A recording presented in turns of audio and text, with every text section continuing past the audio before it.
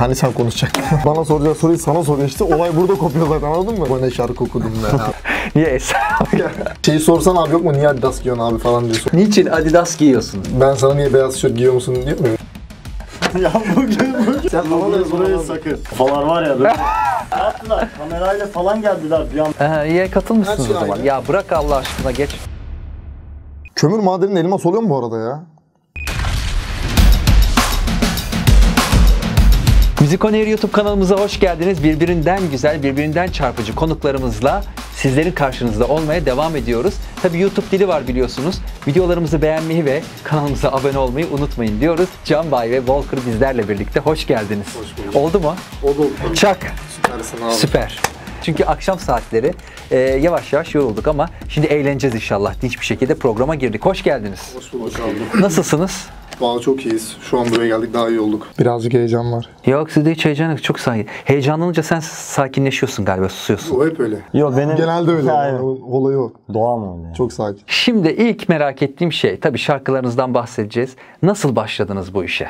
Nasıl başladık? Standart rapçiler gibi. Sen anlatsana. Hep sen anlatıyorsun. Hadi. Standart. 2009'da e, Can Bay başladı. Tabii ben o zaman yaşım gereği biraz ufaktım. Onların bir grubu vardı arkadaşlarıyla vesaire o zamanlar konserlere gidiyorlardı. Beni almıyorlardı. Öyle başladı onlar. Bazen böyle yıldığınız durumlar oluyor değil mi? Her zaman böyle iyi gitmiyor yani böyle pat diye olmuyor bu iş. Öncesinden bahsediyorum. Öncesinde mesela başladınız hep böyle daha çok kitleye seslenmek istiyorum ama bir türlü olmuyor dediğiniz oldu mu? Önünüzü tıkayanlar oldu mu? Veya böyle sizin yıldığınız, bıraktığınız dönemler oldu mu? Şimdi her rapçi gibi biz de kitleye hitap etmek isterdik o zamanlar. Çünkü genciz daha kanımız hızlı. Bulunduğumuz konum gereği zaten bu dediğimiz şeyi yapamıyorduk. Hani maddi Manevi de destek yok. Maddi destek zaten yok. Kendi aramızda para biriktirip çalıştık. İşte birimiz telefon sattı, birimiz laptop sattı. Stüdyo kurduk. Stüdyoyu siz kurdunuz. Tabii tabii biz kurduk. Yaptık bir yaklaşık ne kadar boyutu var? Ee, tabeladan Yani iki metre kapıya kare. kadar falan. 2 İki metre metre. kadar bir stüdyo. adım diyelim. İki adım Yani. dört kişi sığmıyordu yani. Üç kişi en fazla olabiliyordu. Orada yaptık şarkılarımızı. Sonra birkaç şarkı yaptık. 2018'in Şubat ayı hazırlık olarak bir şarkı yaptık. Ters değil mi? Ters aynen. Bir profesyonel bir adım attık. YouTube'da Nette Müzik'le anlaşma yaptık. İlk yaptık şarkımız 40 bin izlendi. Hangi şarkıydı? Ters. Ters. 40 bin izlenme oldu. O bir ayda falan 40 bin izlendi. İkinci ay Profesyonel destek almadınız ama. sıfır yine ikimiz. Sadece kliplerimiz işte. Tamam. Biraz daha. İkinci şarkımız 150 bin izlenmeye geçti. Yani adım adım yükseliyordu. 40 Bu da bin. profesyonel şey yok yine? Yok yine kendi 2 metrelik salonumuzda yaptığımız bir şarkı. Yani mix mastering'i kendimiz Umut yapıyoruz. yapıyordu yani. zaten. O zaman Tamam. Volker yazar altta. Üçüncü şarkı elbet bir gün. Yine aynı şekil. Bu sefer e, şey dedik çalıştık o hafta. Umut işte babasının yanında çalıştı ben. PlayStation dükkanı işletiyordum. Orada çalışıyordum. 500 lira toplamıştık bir buçuk ayda falan. Gidip elbet bir günü kaydını aldık profesyonel bir stüdyoda. Çok yabancıydık yani oraya gidişimizden belliydi o. Kayıt aldık, şarkıyı bitirdik. Klip çekmemiz gerekiyordu. Yani bir şeylerden peyda etmek lazım. Es veriyorum. Hala hiçbir profesyonel bir destek yok. Hala kendiniz yapıyorsunuz. Şu an Bir yapım... kendimiz Hayır hayır. zaten. O üçüncü şarkıda elbet bir günde de mi? Hala yok. yok Yapım hiç- şirketi falan hiç yok. şey yok. Sadece e, Evet. yine Şirketi var. 3 adım müzik vardı o zaman. Bizim şarkılarımızı Net'te veriyordu. Gençlik 10 milyon abone var. Diyoruz ki 1 milyon dinlese yeter falan kafasıyla ilerledik. Elbet bir günü yaptık. Umut o ara yine babasının yanında çalışıyordu. Ben bilgisayarımı satmak zorunda kaldım klip için. Evet. Canan diye bir yönetmenimiz var. Canan Çelik ona da buradan selamlar. Hangi kamerayı? Burası. Biz şundayız. Şu an çok kameramız var arkadaşlar ama Bayağı kamera var. 3 tane. Paramızı biriktirdik yine verdik klip çektik. Klip yine Bağcılar'da ama böyle bir destek yok bize. Halktan gelen bir destek tamamen. Yani öyle bir arkamızda şirket devler yok. Çıktık çatıya, indik sokağa, çıktık sokaklara, parklara gittik. İşte telli sahalarda bir çektik. Evet evet zaten Evet, fark senaryomuz var oturup hep birlikte yazdığımız bir senaryo. Evet. İlk ayı kaç milyondu? Yani Üç günlük falan. 100 bin attı ilk hafta. Ondan sonra daha da gitti. 300 bin arttı. O andaki heyecanınızı neler paylaştınız? Hissettiniz mi yavaş yavaş bir şeyler oluyor? Ee, bir şey hissetmedik çünkü nefsi müdafaa 300 bini geçmişti o zaman. Daha alttaydı yani bizim için. Birinci haftasında 1 milyon oldu. Yani ilk 7. 7. gününde 1 milyon oldu evet bir gün. Bir şey- yani istediğimiz buydu zaten 1 milyona ulaşmak. Hayalimiz O oydu. zaman nefsi müdafaa 300 bin izlenmesi sizi biraz daha gaza getirdi diyebilir miyiz? Baktınız yavaş yavaş ilerliyor yani. Tabii tabii. Amaç oydu zaten. 1 milyona da ulaşabiliriz biz demek ki dediniz. Evet. Ve e, bu şarkıyı çıkardınız. Çorap söküğü gibi ardına verdiğimiz her şarkı ilerledi. Yani, is- yani çok istekliydik o dönem. Ruhumuzu da kaybetmemeye çalıştık. Ruhumuzu kaybetmemeye çalıştıkça piyasa ters dönüyordu bu sefer. Hani çok arabesk sound verdik diyoruz. Arabesk veriyoruz ama Eleştiri çok olur zaten. her zaman olur. Tabii Her zaman. dinleyicinin ne müzik istediğini bilemeyiz. Biri batı müziği dinler. Evet. Diğeri arabesk dinler. Ona hiçbir zaman bir şey diyemeyiz. Evet. Biz elimizden geldiğince ortada buluşmaya çalıştık ama biraz da arabesk yönümüz daha çok bastı. Çünkü biz arabeskle büyüdük Bağcılar'da. Bunu batıyla harmanladık zaten. Trap sound'la arabeski birleştirdik. Bir şeyler yaptık. Yani e, çok büyük bir başarı. Bence e, gurur duymalısınız. E, çok kitle izliyor ve dinliyor. Ben çok duyuyorum arabalarda. Ama çok dinlenmesi çok güzel olduğu anlamına gelmiyor zaten ama şimdi öyle bir gerçek de var. Ben bazı rap türlerini sevmiyorum mesela. İsmini vermeyeceğim. Sevmiyorum ama onları seven gerçek bir kitle var. Mesela örnek veriyorum. Beni de seven gerçek bir kitle var. Sevmeyen de var. Buna tamamen saygı duyuyorum. Ama çok dinlenildiği, çok sevildiği anlamına gelmiyor. Gerçekten müziği seven bir adam ne tarz müzik dinlerse dinlesin. Yani rock dinler, metal dinler, ne bileyim alternatif rock dinler, Anadolu rock dinler. Yani demek istediğin şu ama değil mi? Yani çok dinlenmesi de çok beğenilmesi anlamında. Herkesin kendi tarzı var. Herkesin kendi kitlesi var diyorsun. En basit örnek YouTube'da çok dinlenen bir şarkıyı ben sevmek zorunda değilim. Bu müziğin içinde olduğumuz için artık müziğin hangisinin kaliteli hangisinin kaliteli olmadığını görebiliyoruz ister istemez. Evet, evet. Yönetmenler nasıl film izlerken hata ararlar. Bizde de öyle oldu artık. Klipleriniz nasıl? İlk klibinizden bu yana. İlk klibimizin yönetmeni farklı. Oğlum azıcık sen konuşsan ana nasıl ben anlatıyorum. Evet. Ya yönetmen değişikliği yaptık ilk iki klipten sonra. Elbet bir gün yönetmeni farklı oldu. Ee, ondan sonra hala onunla çalışmaya devam ediyoruz. Normalde tek bir yönetmenle tek bir kamerayla klip çekiyorduk eskiden amatör olduğumuz zamanlar. Şimdi görüntü yönetmenin farklı efektçisi vesairesi bütün Stylingler falan filan böyle. Evet onu şeyde fark ettim. Son klibinizde özellikle böyle daha yoğun. Ee, ve e, yorumlarda da hani nihayet bir bayan oynamış yorumu var onu fark ettiysen. Çok e, profesyonel diyemeyeceğim ilk klipler için. Bir şey anlattığını düşünüyorum yani o kliplerinde. Evet. Ee, ama tabii bu son klip daha bir profesyonel olmuş. Ünlü isimlerden teklif alıyormuşsunuz ama reddediyormuşsunuz. Reddetmiyoruz. Şöyle diyoruz hani çok yoğun bir dönemdi. O zaman dört duvar yapıyorduk galiba. aynen. Birden fazla düetler vardı. Düetlerimiz rapçilerle değil. Hani dışarıya daha farklı müzik yapan insanlarla alakalı bir söylemdi. Çok yoğunuz, klip çekiyoruz, şarkı yapıyoruz. Biz kendi müziklerimizi de kendimiz yaptığımız için Burak Hasanov diye bir kardeşimiz var bizim prodüktörümüz. Bir aradayız hep. bizim yoğunluğumuz had safhada. Çünkü olarak sü- sürekli bir şey yapıyoruz, beğenmiyoruz zaten. Hani yapana kadar beğenmiyoruz. Evet. O sırada başka bir şarkıcıya şarkı yapamazdık yani. Yapsaydık kendi işlerimizi aksatacaktık. Belki de şu an bu durumda değildik. Aynen. O şeye kapılsaydık, o sevdaya gitseydik hani ünlü adam teklif vermiş ona düet yapalım. Evet, evet. Ona gitseydik belki o kafada değildik şu an. Yani size bir yön veren biri yok aslında. Hala kendiniz yani tabii ki de vardır çalışma arkadaşları, menajerleriniz filan ama hala önemli kararlarınızı kendiniz alıyorsunuz değil mi? Müzik stratejisini sadece ikimiz yapıyoruz. Bizden başka kimse ellemiyor. Evet. Peki şeyi merak ettim. Aileleriniz ne diyor bu duruma? Bir anda bir e, meşhur olma, dinlenme olayı oldu. Daha etki etti mi aileye kadar? Yani benim ilk başta ailem istemiyordu. Bunu ne kadar da söylemeseler de. Yani okulum var, okuluna git vesaire vesaire. Ben inatla okula gitmedim. Hay Allah. Onda... Ama sonunda bitti yani çok şükür. Ha, iyi. Sonradan işte müzik ilerledikçe böyle beni röportajlarım hani yazılı röportajları vesaire böyle internette sürekli gördükçe yani gururlanmaya başladılar. Şu anda da destek veriyorlar. Tabii tabii. Benim ailem en başından beri destekçiydi. Çünkü ben müziğe rapçi olarak değil, öncelikle beatmaker olarak başladım. Evde tek başıma müzikler yapıyordum.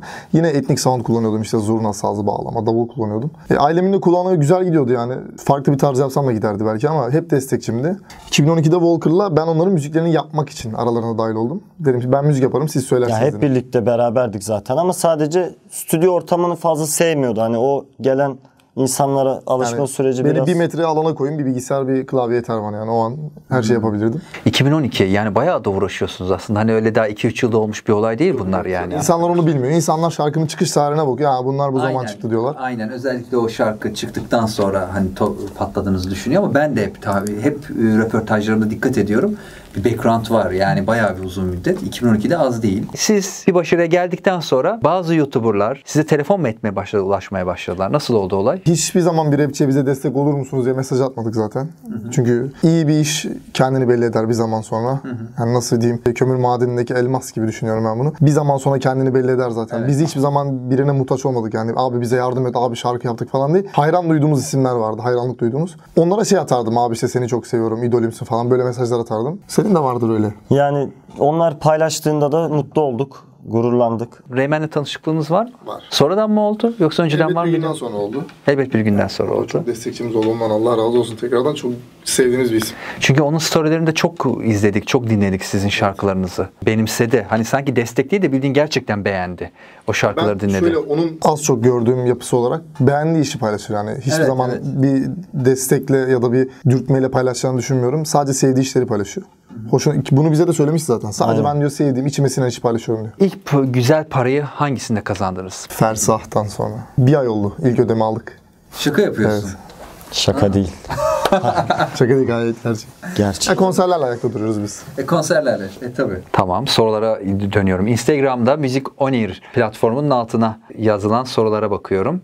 Evet e, doğum gününüzü sormuşlar. Doğum günlerinizi herhalde kutlamak istiyorlar. Kasım'ın 10'u ama 11'inde kutluyorum ben ya da 9'unda kutluyorum bir gün öncesinde. 25 Mayıs. Avrupa turnesi planlıyor musunuz? Var Avrupa turnemiz var. Genel bir turne Ocak ya da Mart ayında kesinleşecek. Yani Aralık ayında kesinleşecek. Yani ya Ocak olacak ya Mart olacak. Ama hani ara ara Avrupa'ya çıkıyoruz tabii. Aralık ayının 20'sinden itibaren başlıyor. İlk konserimiz Köln'de. 21'inde Avusturya'dayız. Daha tarihler belli değil ama bakacağız. En sevdiğiniz rap sanatçıları?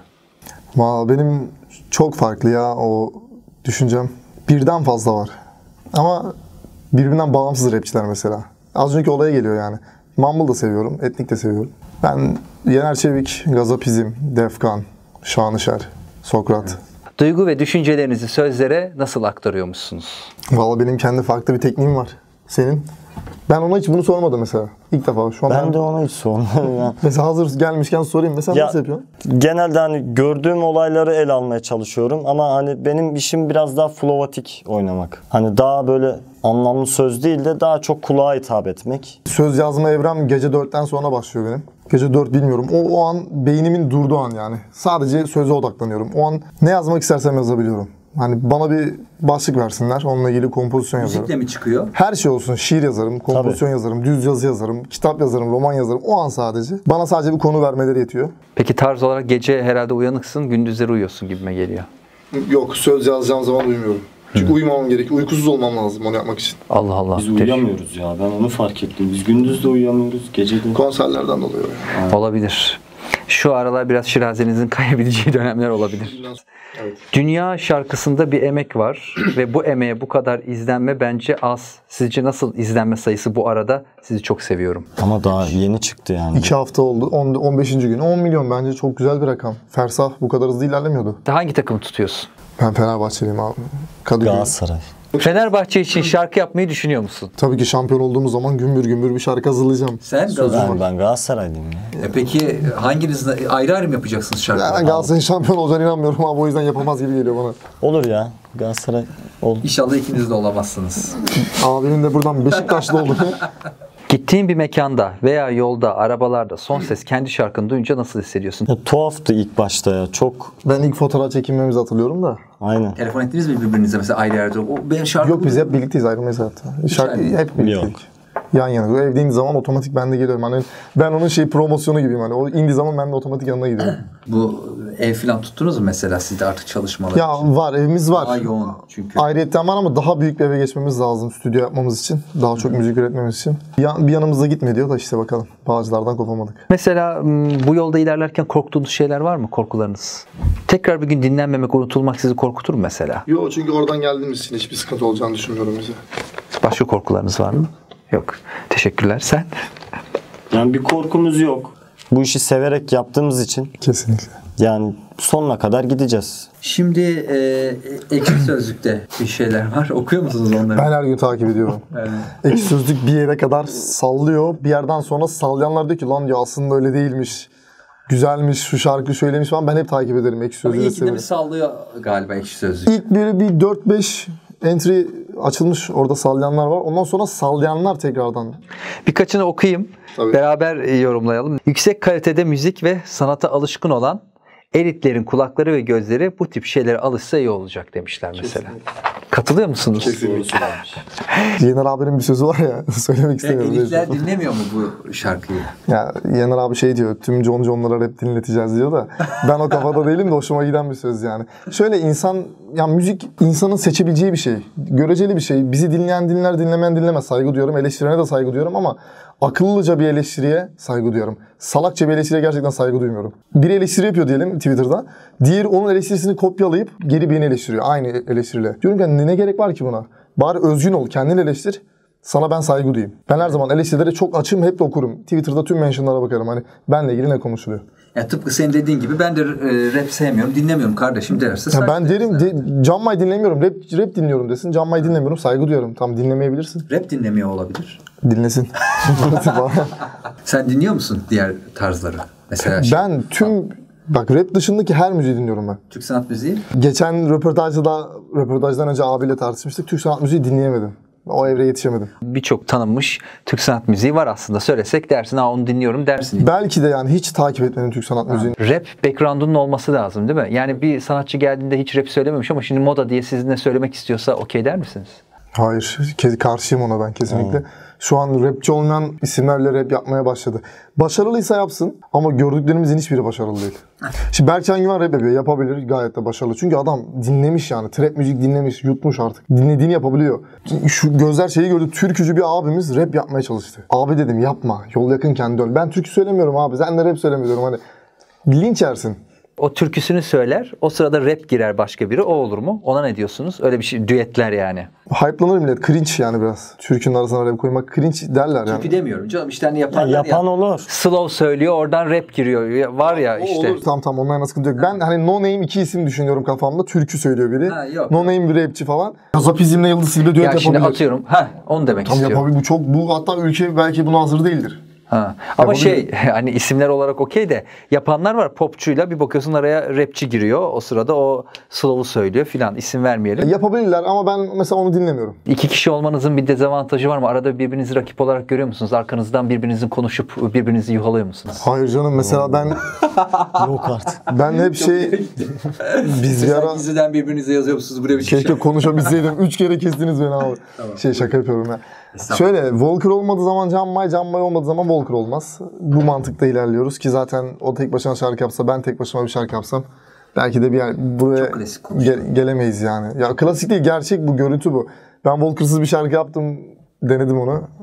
Olmadı gibi.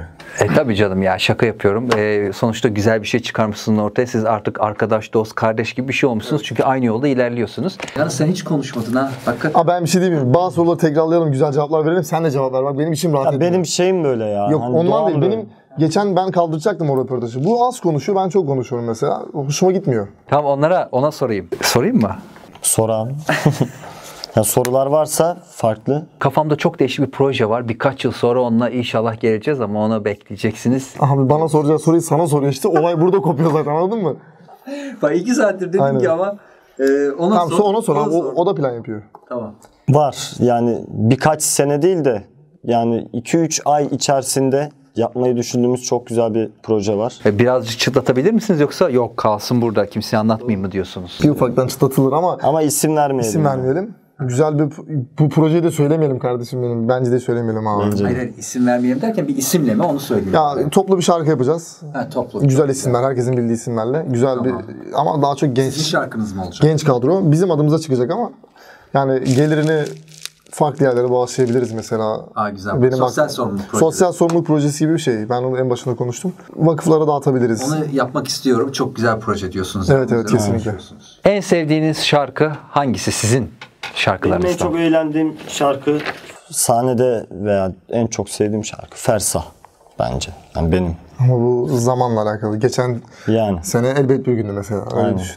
Benim en sevdiğim şarkı valla şu an Dünya. Onun dediği gibi daha böyle tazeler hoşuma gidiyor. Dünyanın oku, e, okuma stilimiz, okuyuşumuz, milletin aldığı duygu çok güzel sahnede falan böyle. Ben de dinliyorum arada Dünya'yı açıp. Hiç daha bu başarıları gelmeden önce de sahne alıyorum diyordunuz. Nasıl böyle küçük sahnelerim nasıl oluyordu? Küçük bile değil yani. Dur bir dakika ona sorayım. Ha, oğlum ben konuş artık ya. Nasıl sahnelerdi? Kendi aramızda düzenlediğimiz organizasyonlar oluyordu yani. Küçük yerler tutup kendi imkan. Kalabalık oluyor muydu peki? Daha kalabalık oluyordu yani genel konserlerden. Çünkü herkes, gelen herkes sahneye çıktığı için Ha evet çok da kalabalık bir liste oluyordu. anladım. Öyle eğleniyorduk. Sana da sorayım aynı soruyu. Vallahi her şeyi anlattı. Yok zaten bu organizasyonları yapan da kendisiydi zaten. Ya bir kere bir olayımız olmuştu. O kadar palet taşımıştık sahneyi kurmak için. Bir kafemiz yani bir tanıdığımızın kafesi vardı. İlk defa öyle bir şey için açtı. Paletleri taşıdık kar yağarken. Ondan sonra e, mikser kiralamıştık. O zamanın parasıyla 100 lira falan yani bize göre çok fazlaydı. Mikseri kiraladık ve biz o kafede yattık. Miksere bir şey olmasın diye. O soğukta kar yağıyor. Kafede yattık mikserin başında 4-5 kişi. Sahne alacağımız zaman mikser yandı. Ve Çok üzerine düşünce Çok mu üstüne uydunuz lan? Hani o ara. Mikser değildi benim aklıma şey geldi. Şineler konseri. ya mikser nasıl yandı? Yani normal bir şey mi oldu ki? direkt kabloyu taktık. Yandı. Ben yani. alev aldı falan zannettim. ya Yok. öyle. Yok yanma deyince işte şase yaptı. Yok, Aynen. onu da yaşadık çünkü Şirinevler'de bir konser yapıldı. Elbet bir gün o zaman 300 bindi. Çıktık, herkes sahneye çıktı tüm rapçiler falan. Yemin ediyorum bize sıra geldi. Mikser yandı. Yeni mikser getirdiler yine mikser yandı. Allah Allah. Dediler ki mekan değiştiriyoruz. Konser alanı değişti. Gittik mikser yandı. Bazen olabiliyor demek. Vallahi tecrübesizlik biraz. Tecrübesiz. O organizasyon tecrübesiz yani. 15-16 yaşında çocuklar yapınca. Velet'le olan proje nasıl gelişti? Şöyle biz elbet bir günü yaptık. Bir gün Tekirdağ'dayız. Umut'la tatile gittik elbet bir gün. O zaman 750 bin falan. Güzel bir rakam. 1 milyon oldu tatil dönüşü. Dönmüyorduk gerçi. Hala tatildeydik. Tatil dediğimizde bakmayın Umut'ların yazlığı var. Cebimize koymuşuz 200 lira para. Tatile gitmişiz. Bir aydır oradayız. Velet aradı. İşte dedi. Velet yazdı pardon. Velet bana Instagram'dan yazdı. İşte bravo gençler falan. Çok beğendim bu işinizi falan yazdı. Sonra İstanbul'a geliyorum görüşelim gibisinden bir şey yazdı. Şimdi bizde o zaman Velet bizden önce çıkmış bir sanatçı ve bayağı da dinlendi. Lan diyorum hani bize yazdı adam ne yapsak Umut şarkı mı yapsak falan. Gel- gelir gelmez şarkı yaptık. Yani gel, geldi Yani bizim projemiz hazırdı biz zaten. yapmıştık. Bizim öyle bir şarkımız vardı. Umut'la ikimiz Uyan diye bir şarkı yaptık. Volker Jam adına. Dedik ki abi hiç uğraşmayalım yeni şarkı yapmayla. Dedim sen bir bölümünü yaz bizim şarkıya dahil ol. Hiç böyle yine prodüksiyon yok. Benim evimin alt katı boş bir dükkan. Oturduk oraya işte kola mola. Abi sen yaz dedik. Kaydalıp gidelim biz. Yazdı çıktı kayda gittik. Bitti şarkı o kadar. Eğer 1 milyon izlenmeseydiniz belki de aranmayacaktınız. Niye öyle oluyor? İşte soruyorum yani niye 500 bin dedi, niye 1 milyon olunca değil mi? Önceden keşfedin bir de. Onunla ne diyorsun? İnsanlar belki de 500 binde göremiyor bizi. Belki milyonlar. Sadece siz için demiyorum. Yani birine bakıyor 200 bin, 300 bin yavaş yavaş yükseliyor, yükseliyor sonra geliyor. Bir şey söyleyeyim bu hayatın genel Aynen. kuralı ya bu. Bir şeyi yapman için bir şey- menfaat gerekiyor artık. Hani bu adam bir milyonsa ben bundan ne kaparım? Talip abi öyle değil bu arada. Sakın yanlış anlamayın Talip abi. Senlik bu konuda insan yapısı öyle. Canım. Ki Talip abi bize yazdığı zaman Talip abi bizden daha popülerdi ya. Hani bizden bir şey alamaz ki biz ondan alırdık. E, evet. Yaz dedim mi yazamıyorsunuz ya bazen 4 olması lazım ya saatin. Şimdi bir cümle yazsanız şu anda. Şu an ben burada güzel bir söz söylerim o söz yalan olur. Biraları gider o yüzden söylemiyorum. Şöyle diyeyim ben geçen canlı yayında bir nakarat okudum. O nakaratı alıp şarkı yapmışlar. Adam benim şarkımı almış nakaratını kendi Ya. şarkısına koymuş ve bunu Nette müzikle yayınlamışlar. Şaka yapıyorsun. Yani bu çok abes bir durum. Şey bizim elimizde patentimiz var yani. Patent ne lan şey MSG kaydımız var bizim yani şarkılarımız kayıtlı. Şikayet etmek istemiyorum. E şöyle zaten sen yayın varsa sende bitmiştir zaten. Ya yani. Hakları bizde her şeyimiz var da sonra çocuk sen bunu al bildiğin potları gibi toplamış. Kendi İzlenmiş mi bari? Ya yo 50-60 binde şu anda. Yine de onun için olan başarı. Saygımdan dolayı şikayet etmek istemiyorum. Bunu yorumlarda belirtmişler. Can Maya'nın okuduğu nakarat değil mi bu? Çocuk diyor ki yok ben bunu bir sene önce yaptım. Ulan aynısı aynısı. Şeyde de oldu ya dört duvarda bir gün hatta yayından kalktı ya. Biz bir şarkımız biz ben yine Dört Duvar şarkısını yayında okudum. Şeyde konserde, Konserde. konserde okuduk. Çocuk sen tut o konser videosundan bütün sözlerini al. Kendi Can şarkına koy. Kendi şarkısına koy. O şarkıyla bize telif at. YouTube sen bunu kaldır. Geri açtılar yer şarkıyı da. Biz çok şey Ne, nelerle uğraşıyorlar ya nelerle uğraşıyorlar. Duvar, neler yaşadın neler ya. Peki şöyle bir şey o zaman sizden en azından söylediğiniz şarkılardan dümdüz söyleyin. Sağım solum sana çıkmaz sen başkasına doğru dert yan. Gözlerinden alıkoyma bizi kurtaracak daha kim var? Giden gitmiş döndüremezdik. Yine de düşmedim deme. Beni silahla öldüremezsin. İstersen bir de gülmeyi dene. Evet gerçekten başarılı. Kocaman bir alkış. Bir sorusu gelmedi bize. Niye hiç röportaj yapmadınız falan diye daha önce. E, yapmışsın. Yapmadık. Röportaj değil ki ayaküstü soru sordu gitti. Ha. Hayır hayır. Ne yaptılar? Kamerayla falan geldiler bir an böyle bütün Peki şöyle oturup programa katıldınız mı Yok, diye yok. sordum ya size. İlk program bu. Hayır, muhabirler Ya arkadaşım geldi. çok önemli bu benim için. çektiler. İlkse benim için de önemli. sorsam biz bunu anlatacağız abi sen sor. Ama şöyle ben otur oturmaz sanırım ki siz daha önce katıldık dediniz YouTube Yani kanalına. YouTube'da biz söyle nasıl diyeyim diyalogtu böyle. Böyle değil yani. Ha. Aslında böyleydi de. Karşılıklı oturduk kon- konuştuk yani. Konuştuk. Aynı sorular gerçi. Ha, iyi katılmışsınız şey o zaman. aynı. Ya bırak Allah aşkına geç.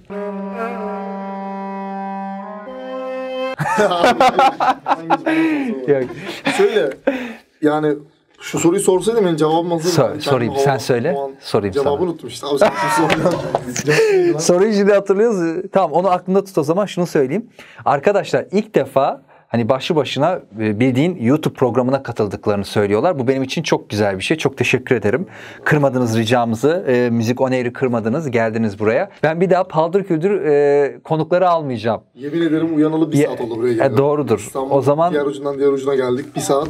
Televizyon yıllarımda askere gideceğim. Ben çok gün, izlenen bir gündüz kuşağı programında çalışıyordum. Ben o gün de işte öylesine gittim kanala. Hani bir bakayım son gün öyle gideceğim askere falan. Gittim yukarıda hakikaten bana bir ağırlık çökmüş. Ben uyudum. Yüzümde de böyle iz. Ondan sonra aşağıdan bir an Cüneyt seni çağırıyorlar. Sunucumuz da sevgiler buradan Esra Erol.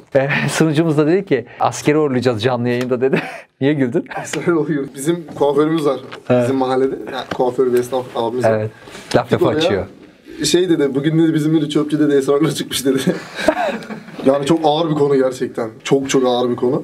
Bir an üst üste gelince biz de o çöpçü arıyoruz işte abi şimdi. Çöpçüyü niye arıyorsunuz? Esrarla götüreceğiz. Esra Erol'a bıraktıysanız sorun yok. O çözülür. İnşallah çözer abi. Sorun yok o çözülür. Ee, şimdi ben 9 yıl çalıştım onlarla birlikte. Gerçekten e, hani dediğiniz gibi çok değişik kesimler tanıdım. Röportajlar yaptık. Çok değişik hayatlara dokunduk ve yardımcı olmaya çalıştık. O dışarıdan gördüğünüz gibi değil. Bazı eleştiriler alıyoruz o konuda da öyle değil. Öyle aynı sizin müzik gibi düşün. Her neyse Esra Erol beni bir anda çağırdı. Bak uykudan uyanılı saniyeler olmuş. Ben de zannettim bir şey vardı hani bir şey yapacak. Cüneyt gel dedi böyle. Tabii Esra Erol bile bilmez yani bunu. Ben de çıktım uykulu uykulu. Ne yapacağımı şaşırdım. Uyku moduyla gerçekten. Askere gidiyorsun hani böyle sarılıyor diye. Ben de gerçekten uykuluyum. Canlı böyle. yayın. Canlı yayın. Oo. Bir de hani ulusal bir kanal. Nasıl kıvırdım? Nasıl kendimi zor şey yaptım anlatamam sana. Hani senin de o mod oldu. De sabah gazetesi Neredeyse o. Hani bir de şey oldu. Duygusal bir mod oldu. Ben uykuluyum yani. Ne duygusalını Çengel Çengel çarpı bir daire falan olabilirdi. Çok güzel bir sohbet. Teşekkür ederiz. Son olarak bir şey söylemek ister misiniz hayranlarınıza? Biz ayrılmadık falan diyormuşum şimdi. O, o kafadan çıkın. Biz herkes ayrıldı zannediyor bu arada. Ee, bizi takip etmeye devam edin. Çok güzel şeyler yapıyoruz. Yeni albüm yapabiliriz her an. Volker sen ne söylemek istersin? Müzik On Air e, Instagram hesabına biletleri kaçırmayın. Kadıköy konu. Evet 24 Ekim'de Kadıköy konseri e, için Instagram'da bir video paylaşacağız. Altına yapacağınız yorumlardan çekiliş yapacağız ve 5 kişi şanslı 5 kişi konserde yer alacak. Hadi hoşçakalın görüşürüz. Tebrikler. Ya Özür dilerim şey olur mu? Yok hiçbir şey olmadı. Evet kapattık. Hemen bir